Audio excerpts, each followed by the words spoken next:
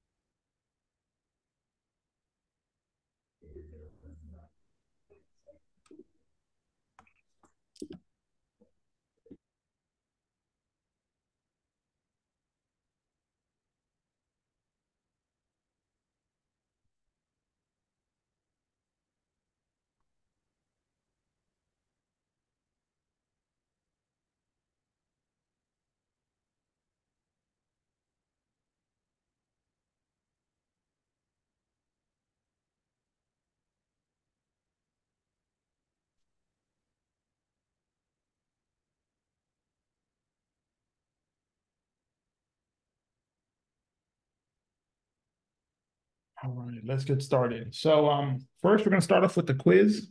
If you guys, I put it on the chat. The other place is if you go to today's lecture on slide number two, you can actually see the link and just click onto it. It'll be a Jotform.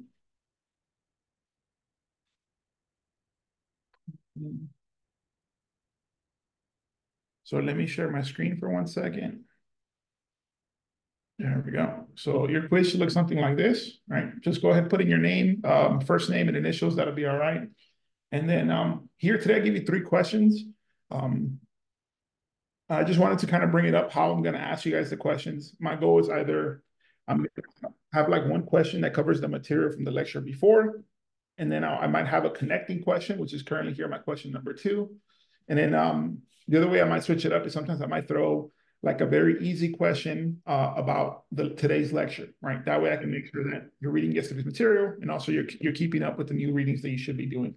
Um, uh, for right now, I'll let you guys, you can you guys can do uh, open notes, right? So you can look at your PowerPoints to answer these questions. I'm okay with that. Um, I'm not okay with like chat ChatGTP or doing like Google searches trying to answer the question. Yeah. So um, go ahead here. It's also like a writing exercise, so no pressure. Um, for the midterms, though, I do expect you guys to write your responses in a way where I wouldn't need to read the question to understand what your goal is, right? Like your goal should be to write it in a way to, to make sure you're really verifying that you're achieving the goal of the question. Yeah. So you got to make it clear enough where I would need, I don't need the question. Just from reading your writing, I could understand. Like here, you'd be like, you should tell me like, um, when you pick an organelle and you describe its membrane, explain to me like, hey, this is the organelle I picked. It has this membrane and what properties of that membrane help it perform the function. Yeah. All right. Good luck. And um, I'll give you guys a few minutes to write. For question number two, I did make three parts, A, B, and C. Pick A, B, or C. Just pick one. I'm okay with that. And um, question number three should be a quick definition. Yeah. All right. Good luck. I'm sorry, where did you say we can get this? I logged on a few seconds late. Oh, it's okay. It's on the chat. It's also on the second slide of today's lecture. You think or you can scan that.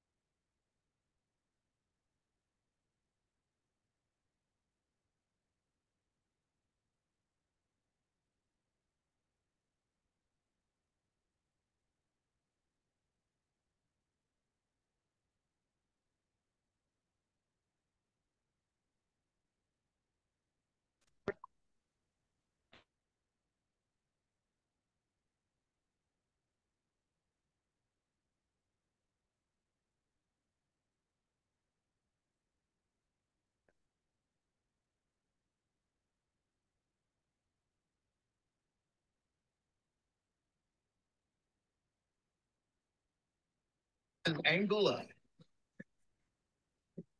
Followed by Tunisia versus Mali. Can you guys mute that?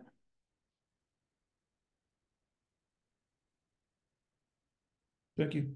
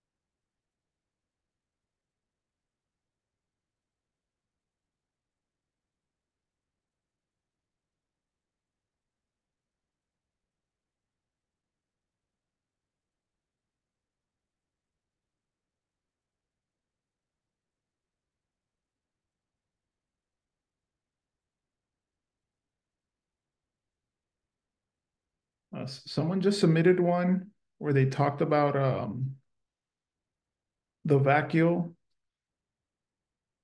for the question number one. Your question number two and three are blank, and you didn't put your name on it. So if you submitted the first word of your question one is vacuole, can you submit it one more time and then put your name on it?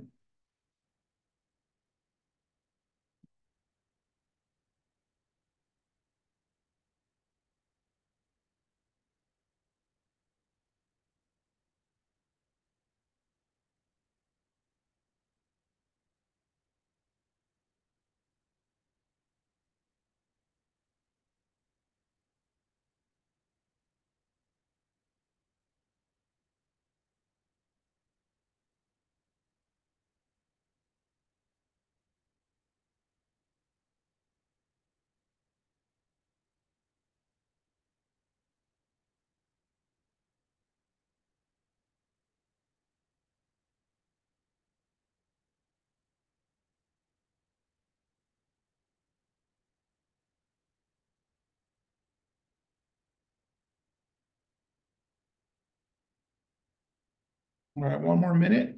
Submit what you um, what you have, and then um, we'll get started.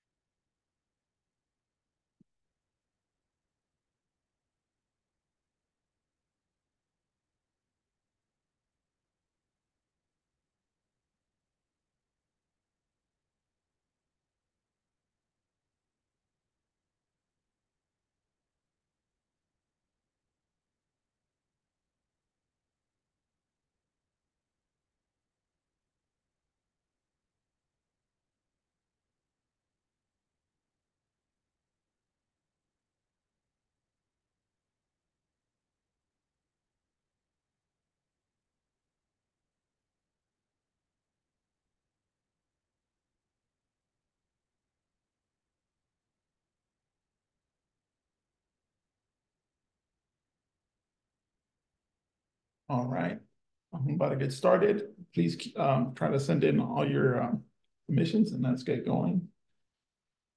All right, so today we're going to be talking, uh, today really the big focus is enzymes, but I'm gonna have to do a little bit of background first. So we're going to be talking about proteins, right? The, the, the big thing about proteins or the thing that I want you guys to, to think about them is that sets them like they're set apart from DNA and from RNA, right? So DNA and RNA are like these 2D molecules that they they basically just hold the information. They really it, it's difficult for them to perform functions as well as something what a protein can do. That big difference that sets these these molecules apart is, is proteins are able to fold and create these 3D shapes, which lets them um, create really specific functions, right? So Here, we're gonna be looking at, I, I, um, I looked at the reading that you guys gave me, where you guys were talking about the things you were interested in. Super interesting stuff. I'm gonna try to trickle it in throughout the course. Um, here we're looking at a protein that's found, um, it's part of the myelin sheath. It's the one that wraps around your neurons and basically creates like a little insulation. So when you have the electrical, uh, chemical electrical potential that sends the signal to the neuron, this is basically kind of protects it and helps transmit the signal. So there's this one disease where it's called prions, which is it affects the 3D shape of the protein. And by changing the 3D shape of the protein, you basically affect the function of that protein. So it, it doesn't work well. If you guys are interested in that, you can check out this paper here. On the left, you have the proper shape of the protein, what it should look like. Here on the right, you can see that um, you can see the alpha helixes and beta sheets we're going to talk about today. They look vastly different. This big difference in, in their shape ends up change, having a drastic change in their ability to function and ends up leading to diseases like uh, mad cow disease. Um, part of that big emphasis is looking at 3D shapes. So here actually when I try to find, uh, find a um, this protein, I was able to find like it's a model that got made through uh, X-ray crystallography, and they're actually showing two proteins next to each other. So here you can see the alpha helixes, you can see the yellow, you can see a little bit of the beta sheets right here. You can see this molecule has a 3D shape to it. It has these alpha helixes, which we're going to get into it a little bit later. They have the ability of organizing amino acids in those specific spots. And by based on the properties of that amino acid, we can actually change how it functions. All right, so let's get started. Our quiz is done. All right, so again, the goal of today is I'm going to introduce the amino acids. We're going to talk about peptides bonds. After that, we're really going to go and try to appreciate a 3D shape of a protein. Then we're going to go through an enzyme. While we're going through the enzyme, you're going to see that I'm going to keep bringing back this idea of 3D shape and how the amino acids are very specific in carrying out specific tasks. And finally, at the end of this presentation, it's going to be talking about how do we regulate an enzyme. All right, so let's get, let's get started. So for this one, um, just a little warning, this is going to be a little bit different than the earlier bio classes where we make you go into each amino acid and memorize it and give me the the the um, the individual like how to draw them or give me the charges. In this class, I just need you to know that there's four different categories, right? So there's four categories in the sense as um, we basically judge them off of one of these side chains, what's here in purple, right? The four categories of amino acids that we're working with are nonpolar amino acids, which means that in that side chain, these are basically uh, nonpolar, aka they interact with um, hydrophobic molecules, right? Down here in green, we, we, we have these that are a little bit different. These are polar molecules. In this case, they're able to form hydrogen bonds. That means they're going to interact with hydrophilic molecules. Down here, these polar molecules get subdivided into two other different categories. One of them is basic, which means they have a positive charge. You can see a little plus sign here, here, and here. The positive charges, it still means that these are high, these are um, polar molecules, aka hydrophilic, that will interact with water, right? The only difference is they have the positive charge. The opposite to them are the acidic. Again, they're still polar, they're, they're hydrophilic, they'll interact with water. It's just that they carry a negative charge, right? As long as you know that big categories, if I ask you questions about how the amino acids work, or if I want a specific amino acid, I'm always going to give you the table. Yeah. Um, so don't go too crazy into the amino acids. The only thing I do expect you to know is this little general structure here thing that we talk on the right. So this is kind of like the basic foundation of an amino acid, right? So here we have this central carbon, which is your first part, right? This is just kind of where we orient ourselves. This central carbon interacts with four different molecules, right?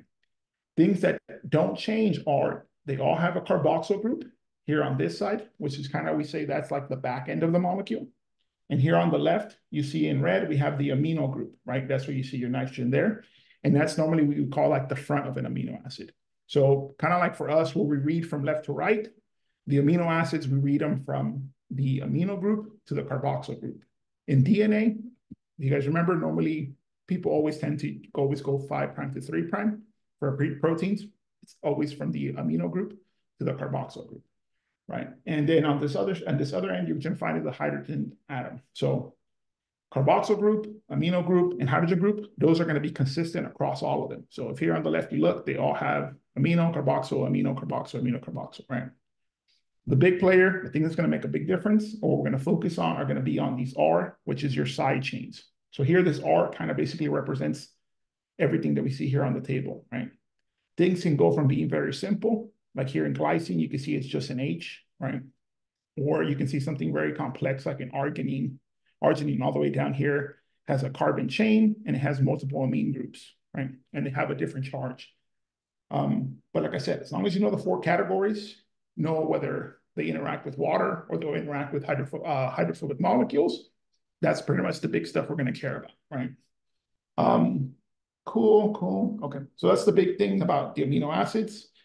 I'm going to bring this table up a few more times. When I bring it up later, I also I want you to keep that in mind that I'm going to be bringing about how the four groups are going to affect the ability of an amino acid to interact with something.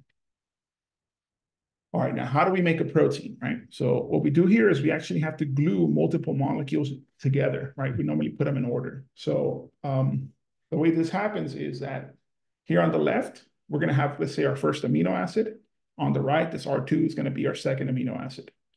The way that these glue themselves is that we use the carboxyl. see if I can draw here. I have a question. One second, guys. Uh, never mind. Um, so let me get back on this. Okay, so we're trying to glue these two amino acids together. The way that we're going to glue them together, what we're going to do is we're going to use the carboxyl group from the first molecule, right, which is this back end, and we're going to use the, the, the, the front of the next molecule, which will be that amine group, right? Um, here, my, my color coding didn't go so well, but you know, this is the amine group right there, right? As this reaction goes forward, what's going to happen is we're going to steal, we're going to use the oxygen group from the carboxyl side. So this, it's going to steal the hydrogens from the second amino acid, right? This reaction, it, um, in theory, right, when we talk about like um, chemical reactions happening, we could throw these two molecules into water, and if we bounce them around enough, eventually this reaction might happen, right? You can get this to stick. The hydrogens will get stolen with this oxygen. This will leave as water. And now this charged molecule will end up using, it, will bind to the nitrogen, right? So this means we'll get basically this carbon that we care about over here, right? It's going to be this guy right there. The nitrogen from the other one is going to be the one you're going to pick up on this side, and they'll bond with each other. And it's how you'll basically get them to get them to get glued. If we try doing this right? Just chemically letting this happen, it'd be very difficult. You'd need a lot of energy and you'd have almost have luck to get them in the right orientation to get these molecules to bind. But in our case, we have a whole system, right? Which we're going to get into later, which is going to be translation, where we use multiple complexes and we use RNA to help guide this process. And they basically help make this reaction happen a lot more efficiently um, and a lot faster.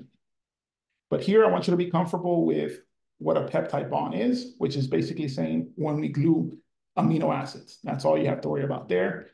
I need you to feel comfortable with what are the amine groups, what are the carboxyl groups, and then here it's that in order for this to get unglued, we can take out water.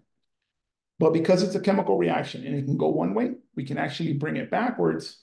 And it's if we bring water back into the system, right, bring in an oxygen to, the, to this one and bring in this hydrogen to the right, we can actually break these proteins apart.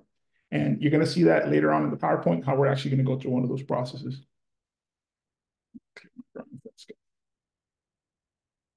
All right, so here, again, focusing again on reactions, right? We're talking about how molecules can covalently bond with each other, but we're going to basically swap part. I'm almost thinking like in my head, like we're swapping partners, right? So here on the left, we're going to be looking at this chemical reaction. We're looking at a hydroxyl group, and here we're looking at this carbon complex with a little bit of bromide. So everything on the left, for this case, we're going to be calling it our substrate. That's the thing that we start out with. As the reaction goes forward, what's going to happen is you're going to have this intermediate state, right? Which is called the transition state. In this case, you're having electrons that are going to be shifting it. they're binding from surrounding oxygen. They're going to start binding to this carbon, right? So it's going to use its charge to try to create a new part as this reaction is happening, because these electrons are like high energy and you're switching them partners, technically you're at a higher energy state. And that's kind of what you're keeping track here in the red. Because carbon normally only wants four partners. That's where it's the more stable. Here that you've put it in a place where it has five different binding partners, you basically make the molecule a lot, it's higher energy, it's more unstable, right? As it goes through this process, it then gets to this point where it shifts the electrons that it, it, it, was sharing with bromide. It gives it to bromide by itself. Bromide can leave, and now it becomes more stable with oxygen, right? This electron transfer um, ends up happening is that we actually release energy. This molecule started out with a lot more energy as a substrate. As it went through this process, when it ends producing these uh, ends up producing this product, now it gets to a lower state, right? So this is an exothermic reaction, and you're losing energy into the environment. Um, so this would basically be a, a chemical reaction. If we we were in the lab, we put these two chemicals, we put them in a beaker, or we put them in like, oh, sorry, in a test tube, right? And we're like, hey, we want to see this reaction proceed forward. That energy to get these molecules, to get them into that transition state is going to be dependent on literally the heat, right? Like, what are the odds of these two molecules bouncing into each other in this right conformation? So we can try to trick it and make the reaction go forward by increasing the temperature. We can increase the pressure. We can try to increase their concentrations. Those are the things that will kind of help us um, increase the odds of this reaction happening. But we still have that big difficulty of trying to get it through that transition state, right? Because we need somehow energy to go from the environment to power up this reaction so we can go basically up this hill, right? Once we go up the hill, on the other side, we have a little bit more luck of it coming down and getting to the product side, right? And this is where those big players, the thing we're going to talk about today, are enzymes. These guys are going to be are basically going to save us the trying to get over that transition state. So in this case, in red was the one we talked about before, right? In order for that reaction to happen, we had to use this uncatalyzed reaction. That means no enzymes present. We need all that energy input to get these molecules to bind. If you bring in an enzyme and you use that to catalyze the reaction, the enzyme they, they, they, the protein kind of can help out in, in, in a few different ways, right? Some of the ways that they do it is they can grab onto, let's say, the two molecules themselves. It has really cool pockets. Grab onto them, puts them in the right conformation, right? Brings them right conformation, brings them closer together. Sometimes the protein itself, it could be like an intermediate par partner. Mm-hmm. So it'll, it'll use some of its amino acids to temporarily hold on to them. And it'll help breaking some of the bonds to glue these molecules together. But in all the case, any of these properties that it can change to kind of help these molecules go forward, what, what the, the big net effect of, of what the enzyme is going to do is that it's going to decrease the amount of energy you need in order to have that, that bond going through that transition state to happen, right? So you can see here in blue, this should be where your enzyme comes in. So energy of activation is a lot lower. That means that if we had these two reactions at room temperature right now, one beaker, just the two chemicals, and we're like, let's see how, how fast we can transition them to the product. Well, we did the same reaction, same volume, same amount, same room temperature, same pressure, but we add the enzyme on this side. Depending on um, that enzyme, is going to make this reaction be more favorable, right? Just a little bit of random heat is enough to power it up and transition it to the product state, meaning that that enzyme is going to is going to be able to speed up the reaction by increasing the odds of it happening. Um, and kind of helping it push forward. Uh, so in that case, that big thing that the enzyme's doing is decreasing that um, the amount of uh, energy required to get it to the transition state to produce the product. So yeah, so the, the big question here is, oh, sorry, the big the big thing here is that, sorry, let's go back. Um, the enzyme is going to decrease the energy of activation, right? So this EA trying to get it to a transition state, that's the big net effect. Um, when it comes to the amount of energy that gets released, which is here down here kind of shown in green, that's your delta G, right? The energy coming out of the system. In that case, um, whether you use a um, an enzyme in blue or if you don't use an enzyme at all shown in red, at the end of the case, when you're going in this reaction from this uh, um, carbon chain with bromide to these things on the right, to the product on the right, the amount of energy that you get out of the system is going to be consistent. So that change in energy down here from this side to down here is going to be the same no matter what. Um, I kind of think I'm going to redraw this drawing so that the blue line's a little bit fatter so you can see that it actually pops out and it's the same height here and it ends at the same place down here. Right? So delta G doesn't change. the energy of activation is the one that gets decreased by enzymes. And that's how they can increase the likelihood. So mixed reactions happen faster. It also, they're more sensitive to happen. Okay, um, let me see. So again, if we look at it from the uh, from the energy side, right? It's like we need less energy to make this thing happen. If we look at it from like our perspective, like, hey, how fast is it happening? What we're going to see is that if you don't add the enzyme, this is going to take a longer time. It'll eventually achieve the reaction, but it just takes a lot, a lot longer. Um, and then um, with the enzyme present, it should happen a lot faster. So if you guys remember from um, from um, I think it's like a little bit of chemistry, a little bit of bio, some of these chemical reactions, they can go forward and reverse, right? So I think, let me see, I think I have one forward. Never mind, I'm gonna talk that a little bit later. so yeah, so speed of the reactions, enzymes speed it up. They have less energy requirements, but we still get the same energy output. Um, now here we're looking at an example of something that we actually see inside of our cells. So this is kind of one of my favorites when we're talking about um, getting energy out of the system. On the left, we have glucose, right? This is a high energy molecule. This is where um, plants basically use light to store energy in this molecule. We can then can eat the plants or we can eat, um, eat basically we can even eat just refined sugar in our coffee, right? That'll be that glucose. That's that high energy molecule. And we need to get the energy out. In this case, we're going to be using enzymes, right? Here is going to be a hexokinase. What it's basically going to do is it's going to be one of the places where we actually input a little bit of energy to set up this molecule so we can eventually break it and take the energy out. Um, so the uh, hexokinase, what it's going to do is it's going to be has pockets. It'll grab onto the hexokinase or your glucose, which is the sugar. It also has a pocket which can use to grab onto ATP, right? Within that pocket, it's going to help catalyze this reaction to make it happen and where it'll take the phosphate right, from your ATP. So adenosine triphosphate will take the phosphate from here, and you're going to see we're going to glue it onto the last carbon of the sugar molecule. And then you'll have this right here, right? There's your phosphate group, and now you see we produced out ADP. Um, as it's doing this reaction, what it's going to do is it's going to grab both of the molecules. It'll temporarily do a little bit of chemical transfer down here. So let me see. Um, no, never mind. I was going to do examples, but uh, it'll grab both of these molecules, hold on to the sugar, hold on to the ATP, bring them together.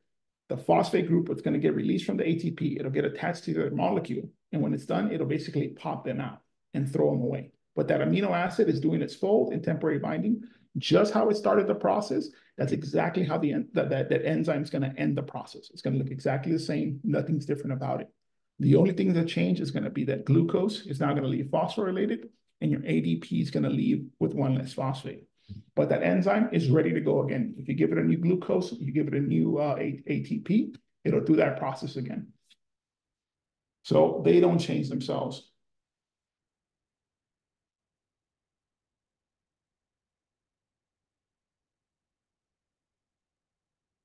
All right. So let me think. So yeah, I already went over the fact that the enzymes help lower this energy of activation. So it makes it more likely to happen. Um, or help this makes it more, makes it happen faster. Uh, so normally the energy of activation, this is where really is going to slow down the reactions, but because we bring that down, technically we make it more favorable.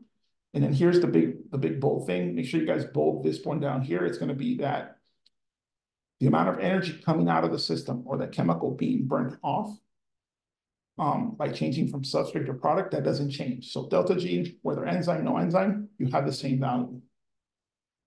All right, so here we go. So it should be summarizing all the points here, right?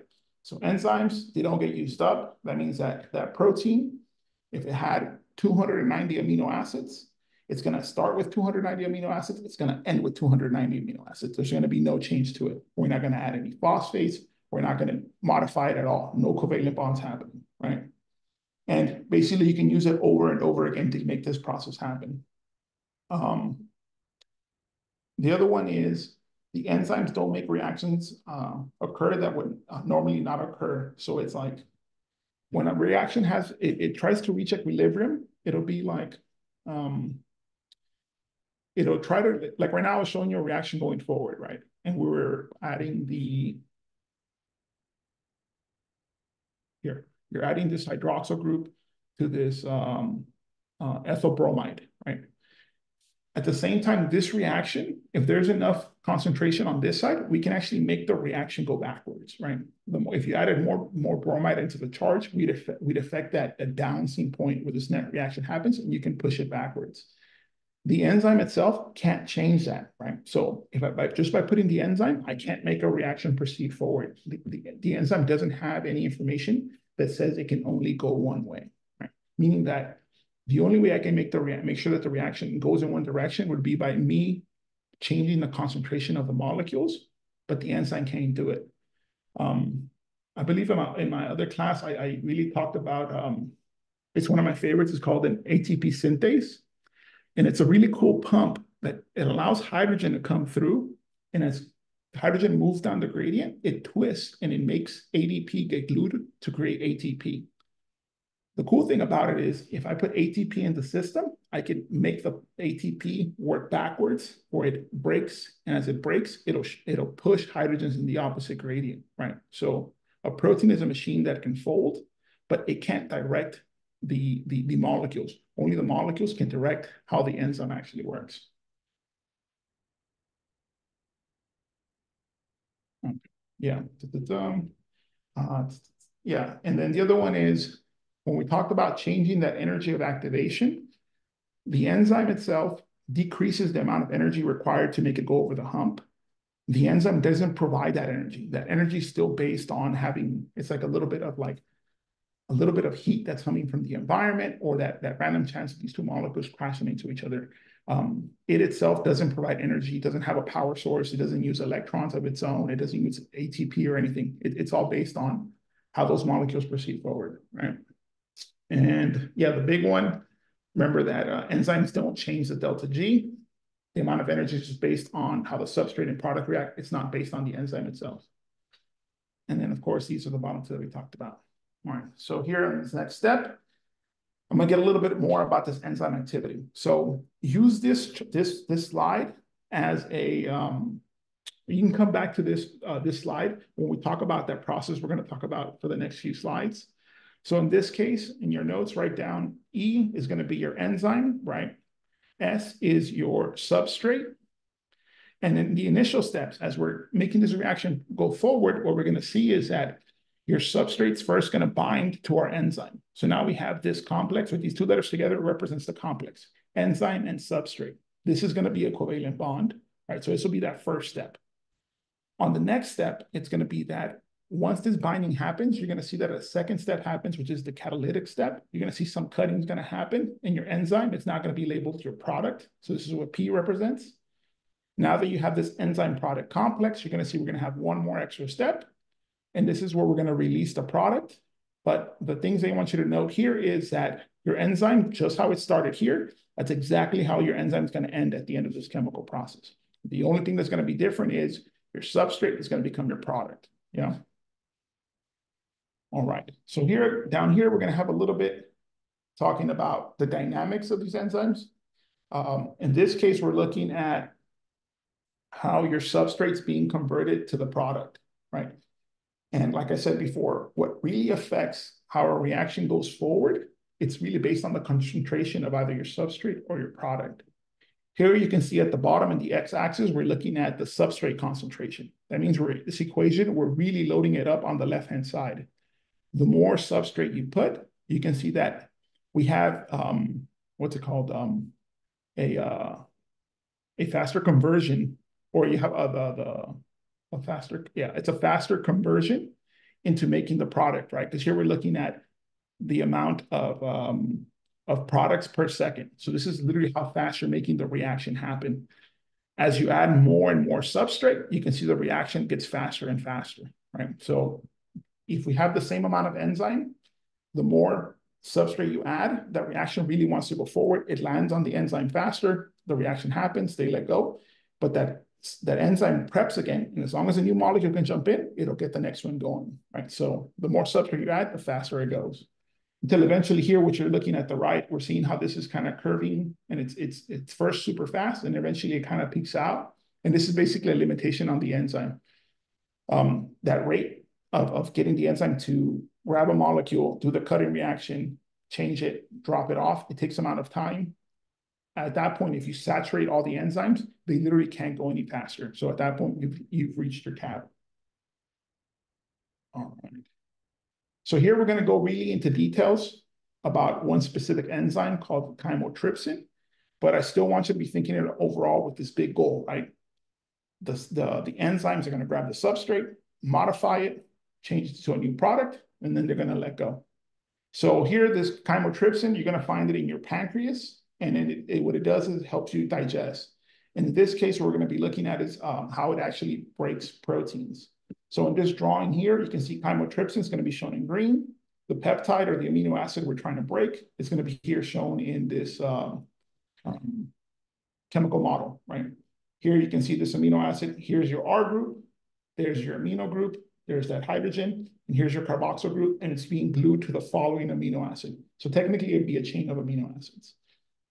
And what we're going to see it do is we're going to see this um, uh, chymotrypsin is going to break that polypeptide chain. Here, that polypeptide chain is kind of shown in red. That's going to be our substrate. We're going to put them together. Here's where we're going to have that shift happen. It's eventually going to cut that chain and it's going to release these two fragments. All right, so sorry about this. I changed colors one more time. We're still looking at the same enzyme, chymotrypsin, sorry, chymotrypsin, and I'm showing you that enzyme here in orange. And in this case, that 3D shape of that protein is making this really cool binding pocket down here on the left. This pocket is going to have amino acids, right? Based, remember, there was four categories, polar, non-polar, we have polar basic and polar acidic. You're going to change some of those amino acids. You're going to enrich the ones that you need in this pocket that'll help you interact with this, um, with this specific amino acid, yeah? When it's holding to this amino acid, what I want you guys to keep an eye on is going to be at first, we're looking at um, the carboxyl group for this amino acid, which is this guy right here. There's your carboxyl group, right? For that first amino acid. This amino group is, is the drawing for the next amino acid. So basically here would be the blue one. Um, these amino acids that you see inside the orange section, those are the amino acids of the actual um, chymotrypsin, like the enzyme, which is going to carry out the reaction.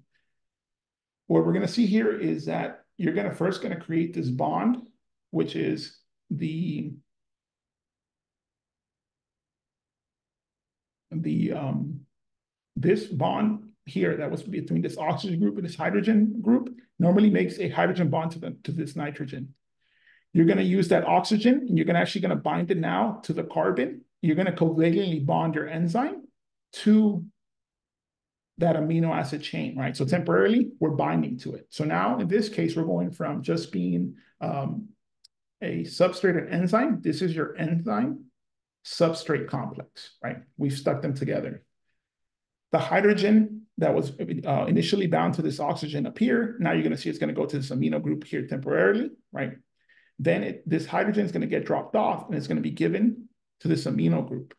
Now that that amino group has a, has a hydrogen, this part of that protein can leave, right? So this is already when you're looking at your enzyme and your product, right? What is my letter? Do you guys see my letters disappear? Oh, never mind. Here we go. Sorry, guys. Um, wait, that's pretty cool. All right, I'll, I'll try to draw fast. Sorry about that. Um, so you can see here we've broken up a fragment, but like I said before, we can't leave this other part of the amino acid stuck into our enzyme. Otherwise, it's not a real enzyme, right? So in this case, um, we're going to look at this bond next.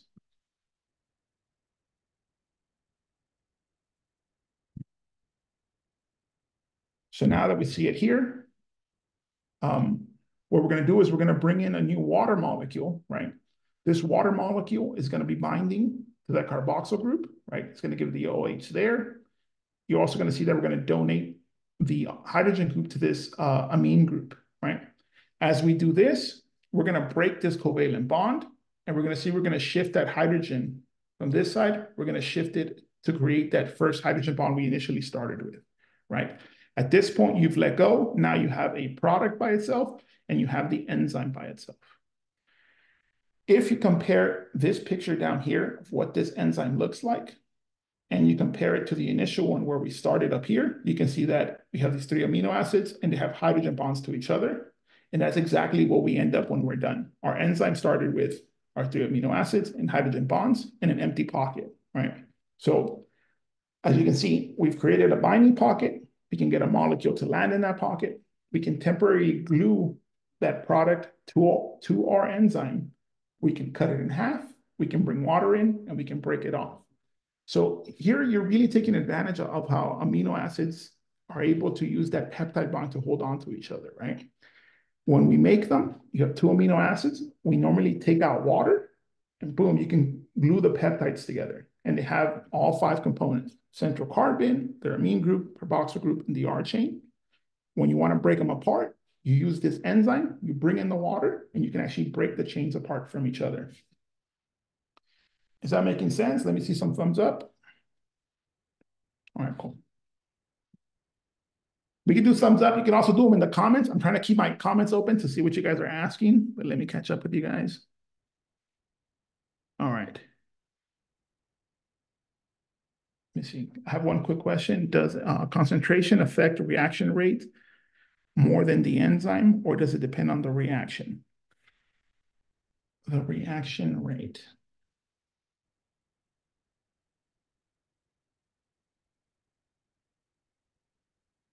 The reaction rate.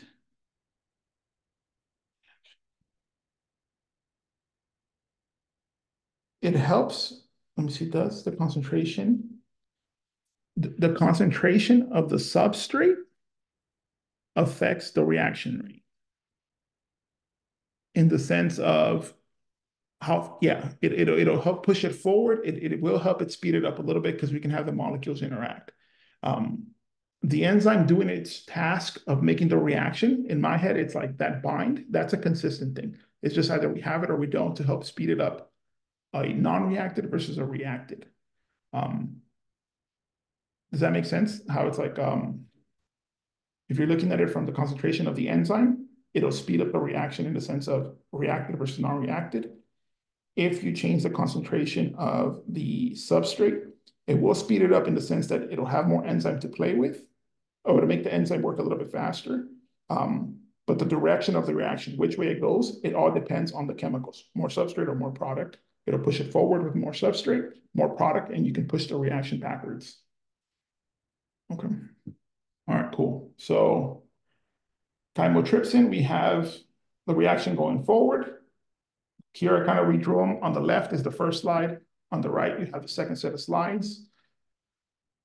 During this reaction, right, if we didn't have the enzyme at all, and the goal was like, hey, let's just break these two amino acids from each other. If we put them in a test tube, see how long it takes, right? In, in order to power this reaction up, you see that you basically follow this black line you would need a lot more energy to get these two bonds to break. And the way that works is that if you have a chemical bond, um, do you guys remember, have you guys ever played with those little chemistry models that they, they have like, um, the carbon is like four little plastic sticks and you kind of stick them with each other and they'll look like, like a V shape like that, right? They normally have a shape for how the elements link up with each other in the case of you trying to break an amino acid, you need to have that carbon or that bond between the molecules. You have to break it. So one of the ways you can do it is you can bring in energy to make these molecules kind of the electrons move away from each other. The other one that you can do is you can try to bend the bonds, like get them to shift away from that really stable state to make them unstable. So without an enzyme, you normally have to have a lot of energy to try to help break that apart and bend these molecules. The big thing that the enzyme are going to help us with is they're going to do that. They're going to help bend the molecules or make them uncomfortable enough where it's going to be an easier way to transition from one state to the other one. And that's where we're going to go into that unstable state right here is where it's, it's helping breaking these bonds, right? When it's setting it up.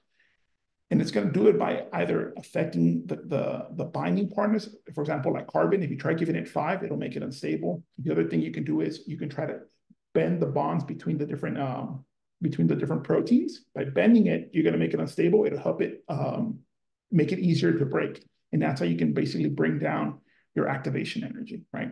In this case, we can see that it happens in two steps. One step is going to happen here.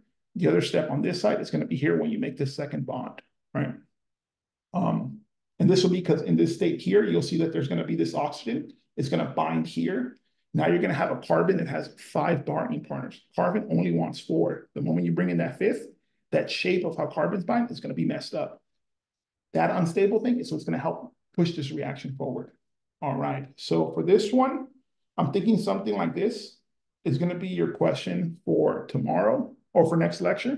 Um, so I want you guys to, to, to we're going to uh, look a little bit into this one. I believe I put notes for this for you guys in here. Um,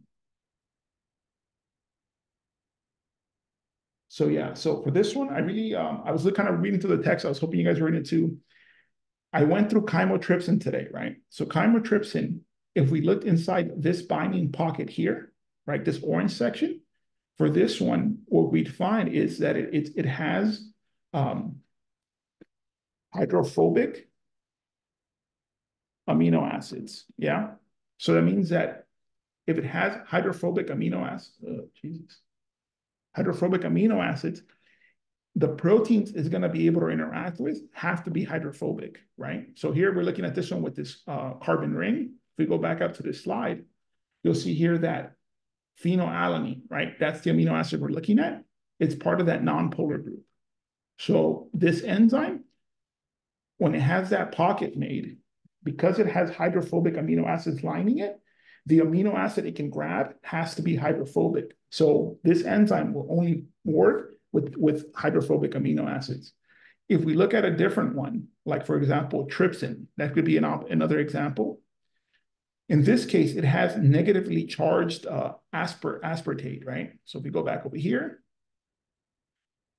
you can see here aspartic acid, it has a negative charge. So what did I say about uh, uh, acidic amino acids for, for that one, right? What, what are the things that we know? You guys can write them in the comments if you can. What kind of partners do they like?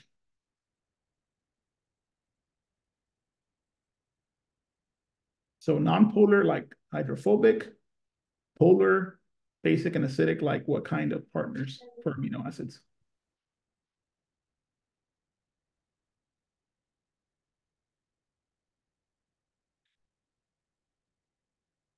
All right, class participation. Come on, everybody, somebody.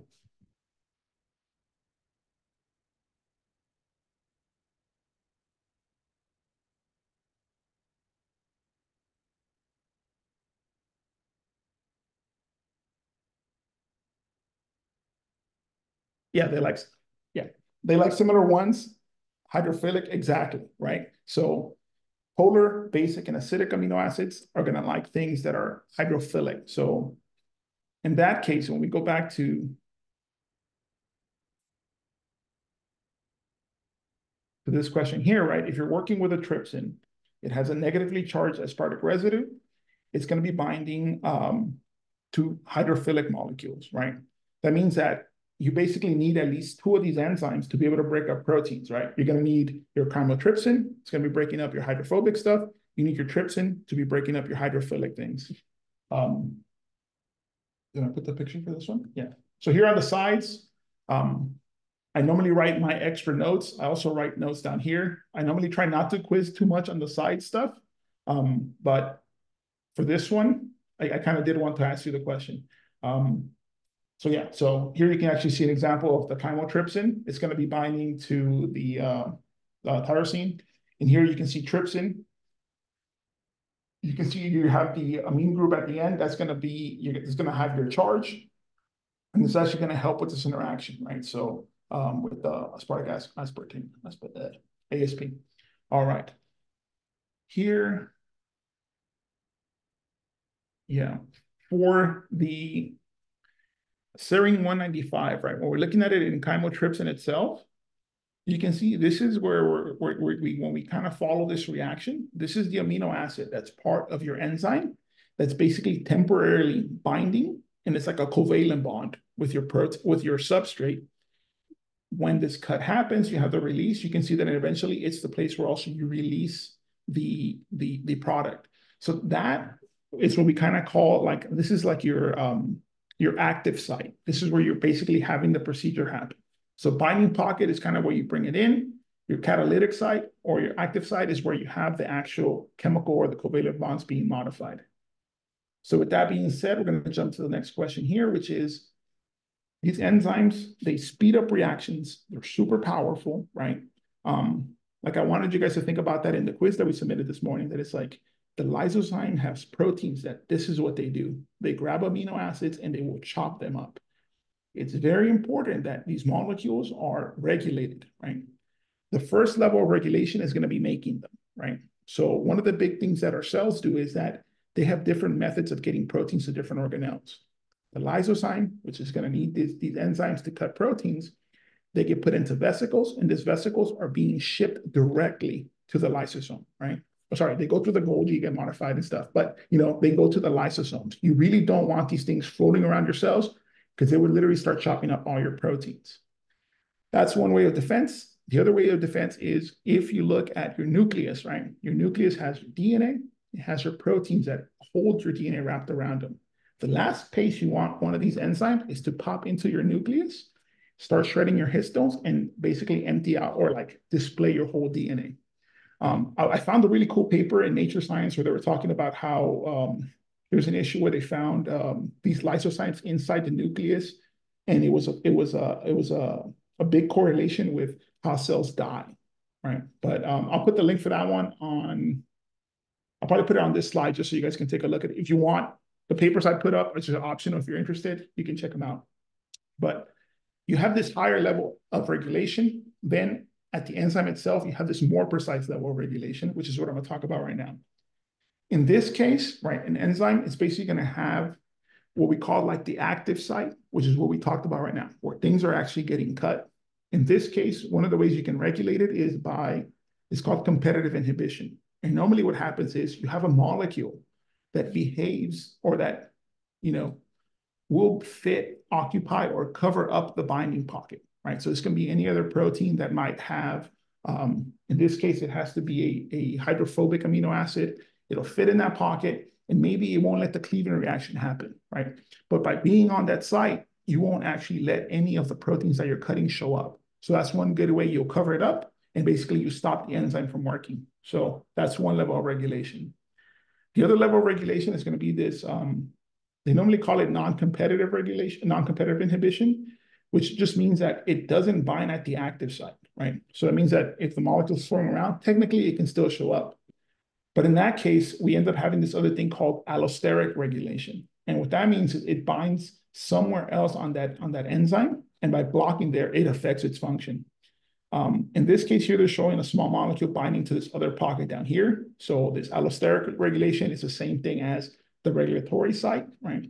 And what it does is that by binding in this pocket, it literally causes a conformational change in the protein, like its shape gets curled up, it changes, and you can see here, in this case, it's actually closing off the, ox the uh, active site.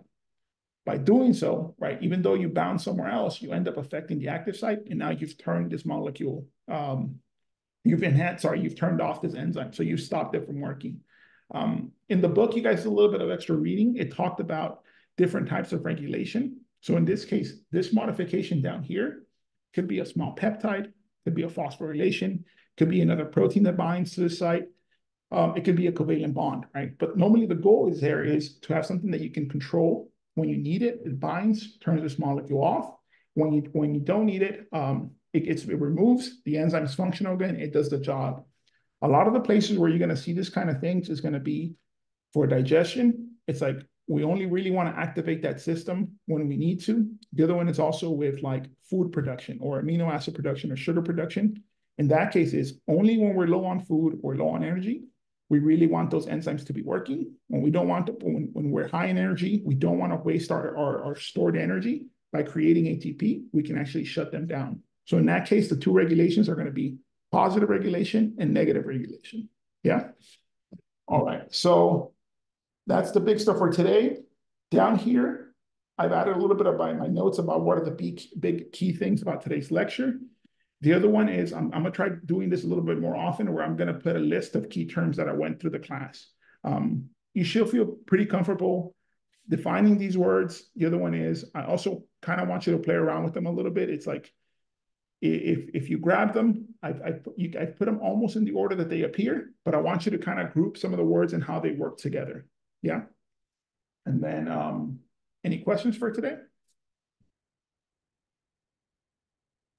Uh, I had one. Yeah, Gavin. Um, so, so like when we're prepping for next week's quizzes, should we be mainly focusing on the stuff that we learned today, or should we look ahead to next week's notes to help us prepare for the quizzes for next week? So, so that's where um, today I today I, I did three questions, right? No, normally, those are the three types of questions I like to make. One of them is I'll normally ask a harder question or a more in-depth question or some kind of connecting question of the material before this class. So, for example, today I asked a little bit about um, yesterday's class, right? Right. The other type of question is sometimes I'll ask you some way of you two connecting the two lectures together, right? The third type of question I might ask you is going to be uh, something that like on the surface or something should be very simple to find for the lecture for today, right?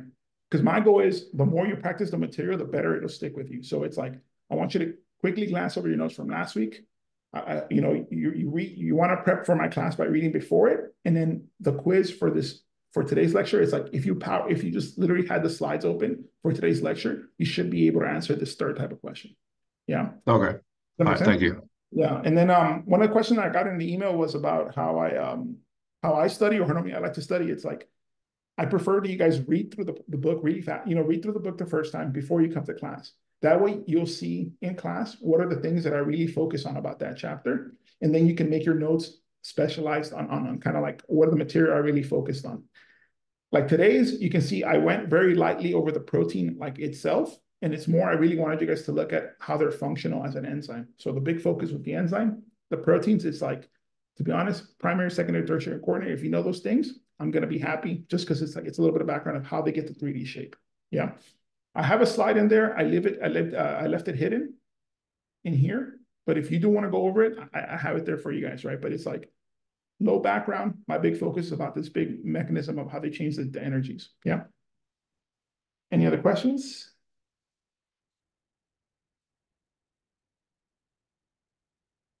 Okay. Good to go. All right, going once, going twice. All right, so all right, thank you very much. Uh, hopefully we get to see each other next week. If not, expect an email from me at the latest Monday morning letting you know if we're gonna do an on-campus thing. Yeah. All right. Thank you guys. Thank Thank you. you. Thank you. Thank you.